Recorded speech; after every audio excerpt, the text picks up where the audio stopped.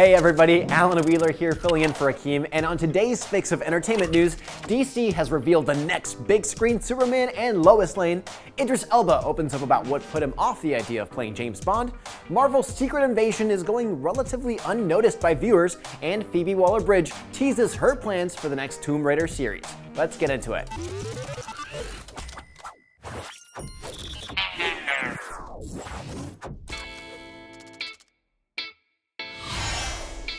It's a bird, it's a plane, it's an official casting announcement for the next Superman movie. DC has officially announced that David Corenswet will portray the Man of Steel in James Gunn's upcoming movie reboot, Superman Legacy. And stop the presses, the Lois Lane to Corenswet's Clark Kent will be none other than Rachel Brosnahan.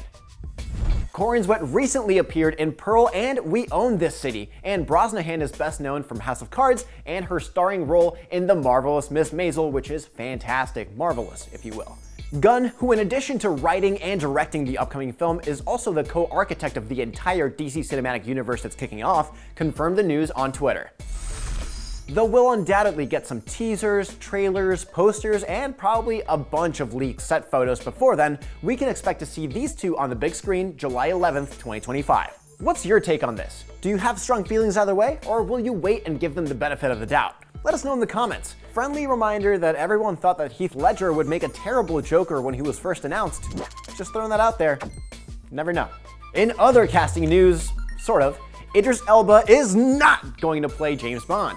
That shouldn't come as a surprise. However, the actor recently opened up in an interview about how the racist backlash to the possibility of him filling the role made the entire thought of it off-putting. Speaking to the Smartless podcast, he explained, essentially, it was a huge compliment that every corner of the world, except from some corners which we will not talk about, were really happy about the idea that I could be considered. Elba added, those that weren't happy about the idea made the whole thing disgusting and off-putting, because it became about race. It became about nonsense, and I got the brunt of it. Given the British actor's performances in shows like The Wire and Luther, not to mention his all-around charisma, it's not hard to imagine him playing the debonair spy.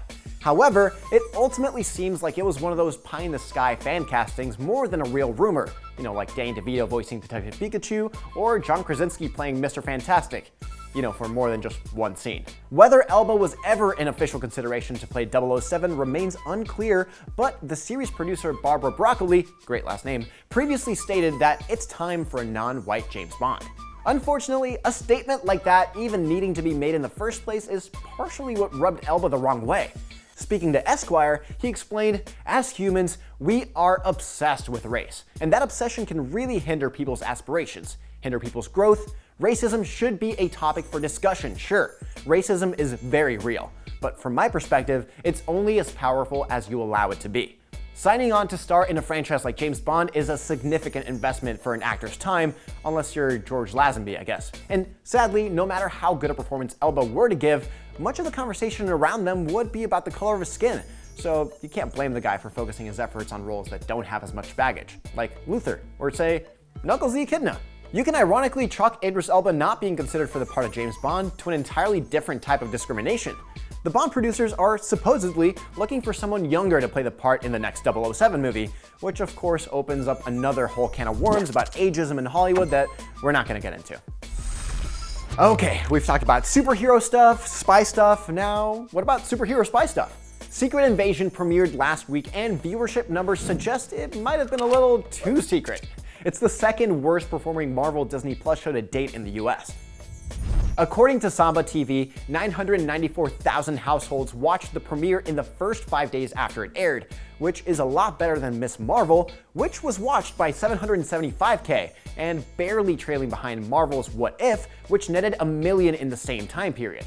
For comparison, Loki holds the top spot, pulling 2.5 million households for its first episode. It's unclear what factors led to Secret Invasion's lackluster launch. There's a very real possibility of MCU fatigue, or maybe a show about Nick Fury without any Avengers around just didn't have enough widespread appeal.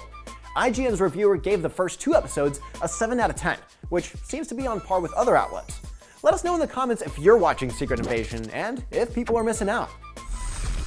Switching streamers real quick, we heard back in January that Phoebe Waller-Bridge would be penning and executive producing a Tomb Raider series for Amazon, and the Indiana Jones 5-star recently shed some light on the project. Speaking to Vanity Fair, Waller Bridge explained, There's room to do something really quite dangerous. And if I can do something dangerous and exciting with Tomb Raider, I already have an audience of people who love Lara and hopefully will continue to.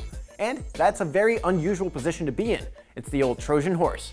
For anyone concerned that this part of the recent trend of writers hijacking adaptations to tell their own stories with complete disregard for the original source material, well, that's still a possibility, but at the very least, Waller-Bridge seems to have some reverence for Lara Croft's backstory.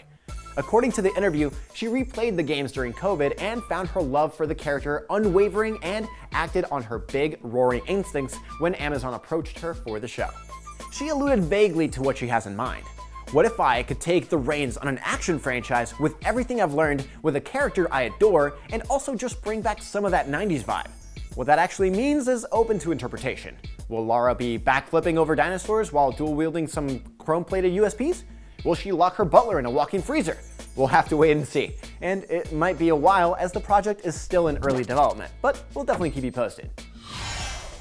And that's your fix of entertainment for Wednesday, June 28th. For more, check out our interview with the producers and star of My Adventures with Superman on how it borrows from Dragon Ball Z, and for everything else entertainment, make sure you're following and subscribe to IGN wherever you like to watch.